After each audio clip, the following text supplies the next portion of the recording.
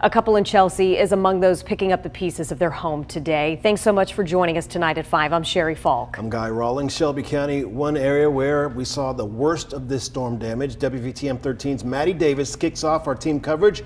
First the storm, then the shock, then cleanup starts, Maddie. The couple who lives in this home actually went to bed last night thinking that the worst of the storm was gone, but today they stand in shock of what was taken from their home, and they aren't the only ones who were surprised by that storm. The five main beams right above the gear. Lawrence and Dale Parker stayed up late as severe weather swept through Alabama.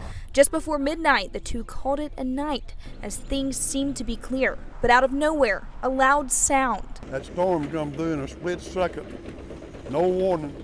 Our alarm didn't warn us, nothing. Looking outside, they saw a tornado barreling towards their home in Chelsea, taking the roof from over their heads, ripping out their chimney, and even bringing a shed to the ground. You can't see it from out here, but like the doors and, and the back door won't open because the walls leaned in. A home filled with memories from over 30 years may now have to be rebuilt from the ground up.